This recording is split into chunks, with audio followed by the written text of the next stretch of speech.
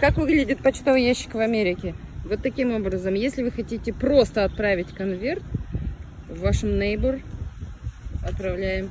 В Neighborhood есть специальный такой почтовый ящик, и просто написано Outgoing Mail, и просто отправляешь. А если у вас маленькая посылка, то вам сюда приходит посылка, Радмила тут параллельно берет. Вот, а, закрыто, и, а нет, открыто. Вот здесь лежит ключ, и этот ключ будет в вашем почтовом ящике, если вам пришла посылка. Также здесь. Это если маленькая посылка, без уведомления.